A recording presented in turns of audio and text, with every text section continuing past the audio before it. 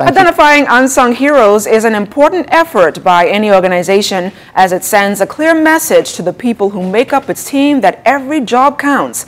In our next feature from the Royal Bahamas Defense Force, we visit the commissary or the commissary on the base where we meet an officer who is all about giving Marines bargains for their money.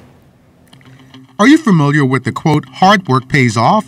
Well, for woman Marine Brittney Darville, laboring as a junior in her mother's talk shop turned out to be just the right qualifications needed to prepare her for a future career on the force.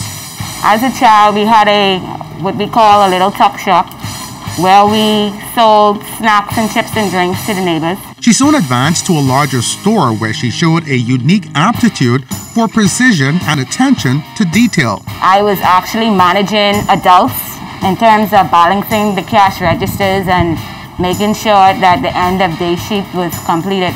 In 2010, she applied to join the RBDF and was accepted as a recruit in 2016. But by no surprise, she is now the lead agent at the Defense Force Exchange, a commissary on base which services more than 1,500 Marines and others.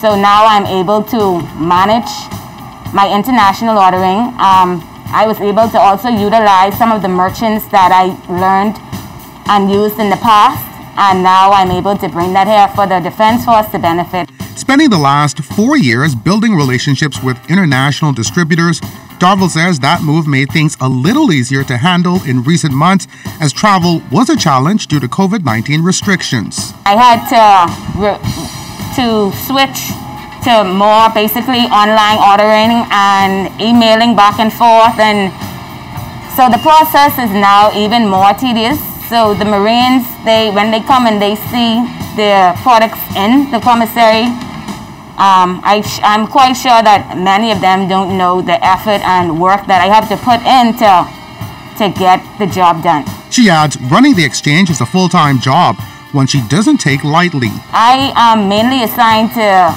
international ordering, but if my chief needs me to do something else, I will then have to do that. In terms of cashing, and serving the members of the Royal Bahamas Defense Force, stocking shelves, checking the inventory to make sure that I am not spending or purchasing more items than I actually need to purchase.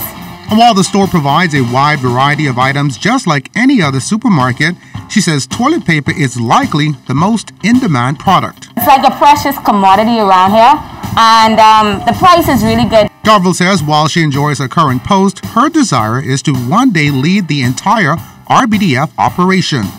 I wanted to actually be the first female Commodore of the Royal Bahamas Defense Force. And so I'm basically, I, am trying to get a little more experience on the rating side.